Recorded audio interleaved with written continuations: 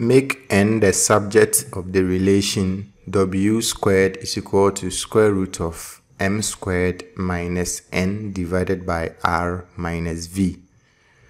So we have the relation w squared is equal to square root of m squared minus n divided by r minus v.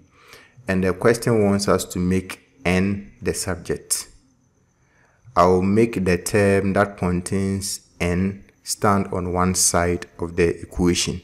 So I'll leave square root of m squared minus n divided by r on the right hand side and then I'll send v over to the left hand side.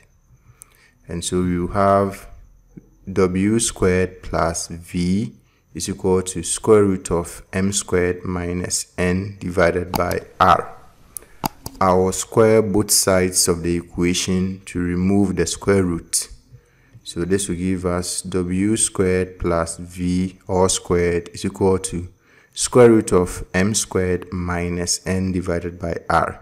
So the square will cancel the square root and then we will have w squared plus v all squared is equal to m squared minus n divided by r. I want to make n the subject. So I'll multiply both sides by the denominator which is r so that I will remove the fraction. So I'll multiply the left hand side by r and multiply the right hand side also by r. So I'll have r times w squared plus v all squared is equal to m squared minus n divided by r times r. And so r and r will cancel each other out. And this will give us r times w squared plus v squared is equal to m squared minus n.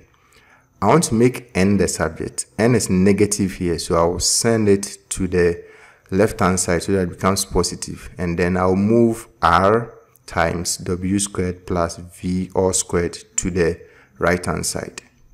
And so when we do that, we will have n is equal to m squared minus r times w squared plus v all squared.